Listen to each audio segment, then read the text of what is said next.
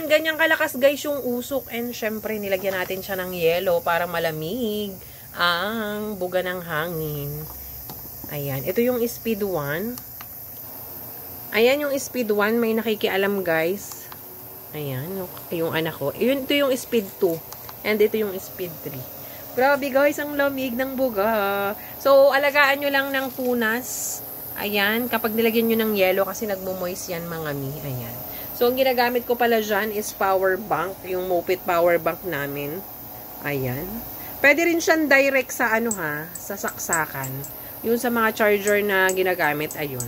So, yun lang. Ayan guys, ito yung ating, buksan muna natin.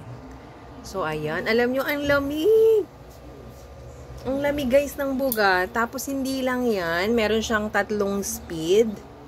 Two. Ayan, meron siyang tatlong speed. Tingnan nyo naman guys.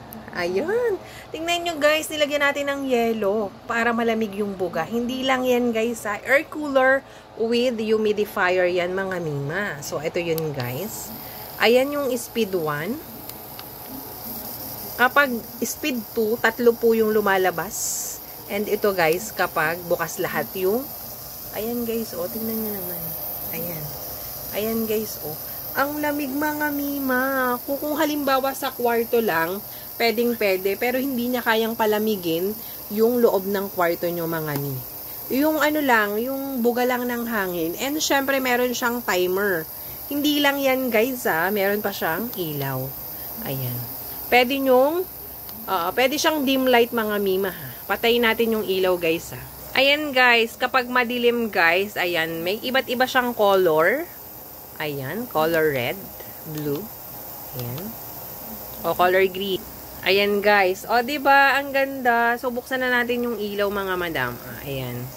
So ayan guys, ang lamig mga mima. So hindi nga pala siya rechargeable guys ha. So direct siyang isasaksak sa kuryente. O kaya naman pwede siya sa mga power bank. Ayan, meron na siyang kasamang uh, anong tawag dito?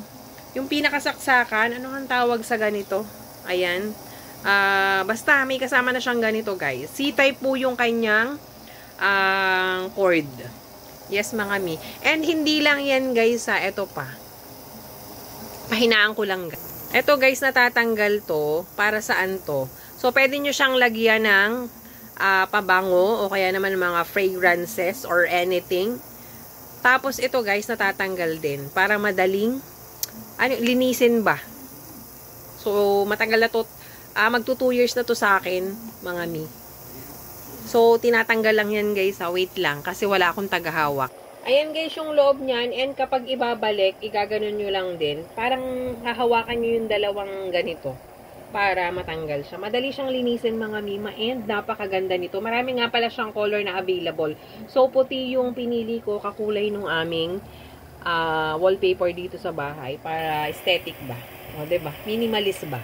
Ayan. So, gaano pala katagal yung tubig? So, depende po. Kapag bukas po yung tatlo, so ano lang siya, 45. Basta na dun sa box. Yes, mga mi. Pero kung halimbawa, isa lang yung bukas, aabot siya ng 7 hours. Opo, pwede nyo siyang repilan. So, ayan guys, kapag hindi bukas yung pan, ganyan kalakas yung usok, mga mi. O, ba diba? Oh my God. Tapos, ayun nga, so, hindi naman siya, wala naman sinabi na pwedeng lagyan ng yelo, pero kami, marami kami kasing nakikita ang mga vlogs na nilalagyan ng yelo, and worth it naman, guys. Basta alagaan mo lang siya ng punas kasi nagmo-moist yan. ba diba? Oh, ba diba? May pa humidifier pa tayong nalalaman, mga mi. So, buksan na uli natin ang fan. Ayan. Speed 2 and speed 3. So, yung speed 3 guys, bukas lahat.